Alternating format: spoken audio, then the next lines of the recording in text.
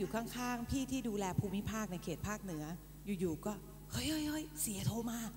เราก็เฮ้ยทุกคนก็เงียบ เสียถามว่าเกิดอะไรขึ้นทำไมยอดขายที่เนี่ยลาคอสถึงสูงผิดปกติเดี๋ยวเดี๋ยวเดี๋ยวคุณมีสิทธิ์ไม่ได้ไป ไม่ได้ไป แต่ทีมงานเราไปที่อยู่เชียงใหม่เชียงใหม่วันหยุดนะพี่วันอาทิตย์ วันอาทิตย์ด้วย แล้วอยู่อยู่ดีๆเสียก็โทรโทรมามาเลย เกิดเข้าอะไรมือถือขึ้นเลย โทรถาม เกิดอะไรขึ้นทำไมอยู่ๆยอดขายลาคอสวันเนี้ยถึงแบบพุ่งเกินจากมาตรฐานแบบหลายหลายร้อยเท่า เหมือนกับเราโทรไปหาโบรกเกอร์เฮ้ยทำไมวันนี้หุ้นนี้มันวิ่งจังอ่าใช่ประมาณนั้นนะฮะหนูไม่รู้เสียอยู่หน้าจอนานแค่ไหน แต่ณวันอาทิตย์ประมาณ 11โมงเช้าโอ้ถ้าเป็นคนอื่นคงไปตีกอล์ฟไปเที่ยวอะไรก็ได้ แต่เสียโทรมาถาม คุณมีสิทธิ์จำวันนั้นได้ไหมครับไม่ได้หรอกนานแล้วพี่หลายปีสดแสดงว่า ไอ้ monitor system เขาเยี่ยมจริงอยู่ในบ้านๆอ่าอยู่อ๋อ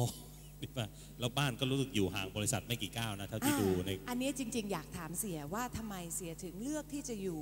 ทาวน์เฮาส์เมื่อสักครู่ได้เห็นในวิดีโอกันอยู่แล้วนะคะว่าทำไมถึงเลือกที่จะอยู่ในออฟฟิศเดิน 19 ถึงที่ทำงาน เดิน 19 กลับถึงบ้าน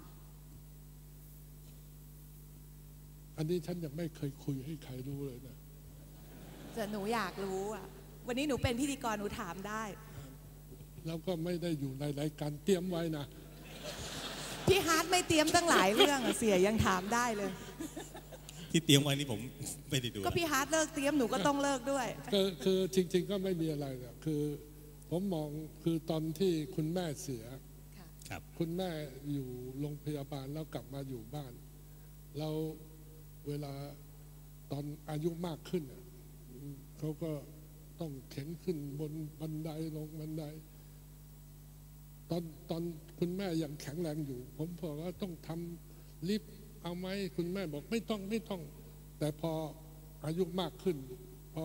นั่นปั๊บจะทำเขาก็ไม่ยอมนะถ้าก็คนแก่ก็มีอายุว่า เออเขาก็ไม่รู้ว่าจะไปเมื่อไหร่เขาก็ไม่อยากจะเสียเงินก็ไม่ยอมแล้วก็อ๋อ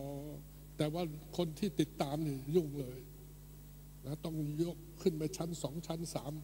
อะค่ะอ่าแต่ถ้าเราช่วงนี้ยังแข็งแรงอยู่ เราเตรียมทุกอย่างเอาไว้ เผื่ออนาคตที่เราไม่อยู่ เราก็อยู่ชั้นล่างอยู่สิบเก้าคนดูแลก็จะง่ายขึ้นไงคิดถึงคนคิดถึงคนข้างๆด้วยคิดอ่าถึงคนข้างหลังอันนี้คิดถึงคนอื่นเออและอีกอย่างหนึ่งที่เสียมักจะพูดเสมอว่า เสียตอนช่วงลุยๆทำไมวันหนึ่งให้ฉันแค่ 24 ชั่วโมง อยากได้ 48 ชั่วโมง อันนี้มีส่วนหนึ่งหรือเปล่าคะที่ทำให้บ้านอยู่ใกล้ออฟฟิศจะได้ทำงานได้มากกว่าคนคืออื่นคือ คือ ผมเน้นในประสิทธิภาพ ผมเห็นสมัยก่อนผมอยู่ไกลแล้วมาถึงต้องขับรถชั่วโมงสองชั่วโมง ไปทิ้งสองชั่วโมงกลับสองชั่วโมง แล้วอยู่ในนั่งอยู่ในรถไม่ใช่ ไม่ใช่เออเออเออเออสุขภาพดีอะเออนะจริงใช่นะนะเครียดเลยนะเครียดเครียดถ้าอย่างเงี้ยผมทำทำงานสามารถทำงานมากกว่าคนอื่น20เปอร์เซ็นต์โอ้ฮะครับ อย่างนี้ไม่ใช่ดีเหรอ ดีครับฮะ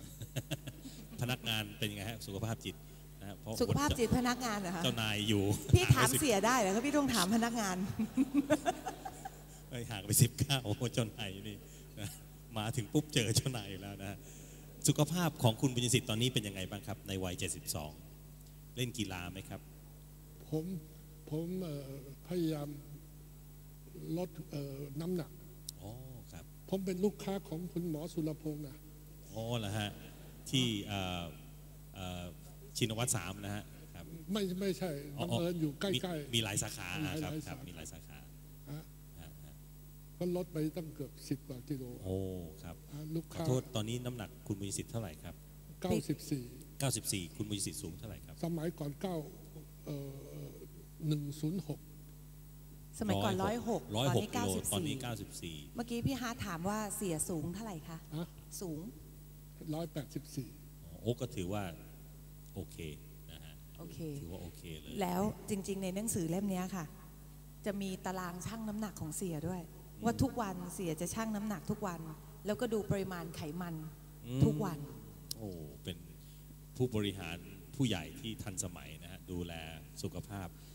คุณบุญยสิทธิ์เป็นคนชอบรับประทานไหมครับ เป็นคนที่อร่อยอร่อยไปกับอาหารที่ทานไหมฮะโอ้ยสมัยก่อนผมมีมีที่ไหนอร่อยผมไปหมด เดี๋ยวนี้เป็นยังไงครับ เดี๋ยวนี้ต้องต้องต้อง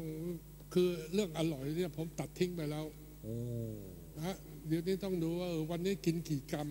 น้ำหนักขึ้นลงเท่าไหร่ โอ้นะฮะครับนะฮะ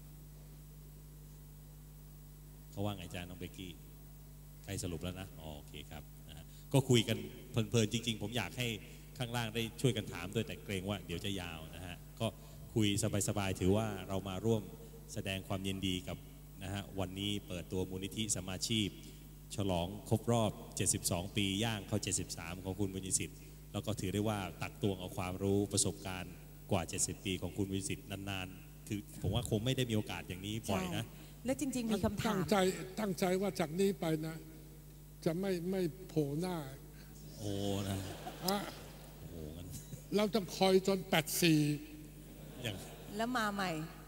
ใสปิ้งกว่าเดิมเพราะกินคิวเทนอ่า เดี๋ยวเมื่อสุดสักครู่ค่ะเสียคะมีทีมแบบ SME เขาก็อยากจะรู้ว่าถ้าเขาจะต้องลงทุนเทรนด์ของธุรกิจในอนาคต เสียคิดว่าตอนเนี้ยอะไรน่าทำที่สุด เอออ่าใช่เพราะคุณบุญยสิทธิ์จะมีวิสัยทัศน์นะขอขอขอคำถามอีกครั้งหนึ่งค่ะตอนนี้ค่ะทีมที่เป็น SME ที่ก็นั่งอยู่ตรงนี้เขาก็มีความรู้สึกว่า อยากจะรู้ว่าถ้าจะต้องลงทุนในเร็วๆวันเนี้ยอะไรเป็นเทรนด์ อะไรน่าทำที่สุด ธุรกิจไหนที่น่าลงทุนและแนวทางกำลัง น่าจะไปรอด น่าจะคไปรอดสดใสคือคือคือถ้าถ้าช่วงนี้เนี่ยถ้าถามผมเนี่ยนะครับ ผมคิดว่าเราไม่ควรมองเฉพาะตลาดในเมืองไทยอย่างเดียว เราต้องมองทั้งอาเซียนนะธุรกิจเอ่อบางทีที่เราทำอยู่อะดีอยู่แล้ว แต่บังเอิญเรามองเฉพาะในเมืองไทยก็อึดอัด ถ้าเรา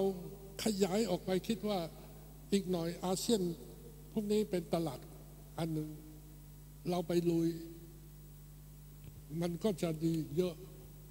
นะฮะเพราะฉะนั้นก็คือทำสิ่งไหนอยู่แล้ว ถนัดอันไหนอยู่แล้ว ถ้าอยู่แค่ในประเทศ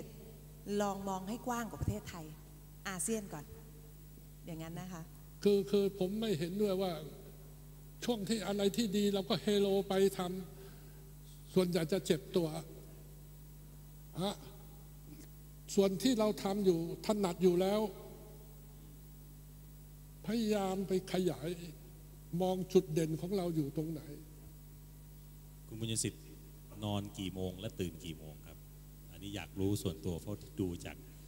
โง่เฮงแล้วสุขภาพคุณบุญยสิทธิ์ดีมากเลยครับ ผมผมนอนประมาณหกชั่วโมงครึ่ง โอ้โห น้อยจัง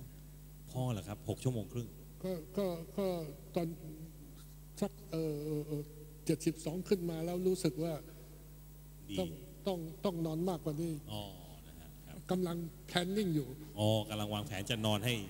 นานกว่านี้หน่อย พี่ฮาร์ดในหนังสือบอกเสียตั้งนาฬิกาปลุกด้วยทีวี ตีสี่ครึ่ง เสียตื่นมาทำอะไรคะตีสี่ครึ่งดู ดู CCTV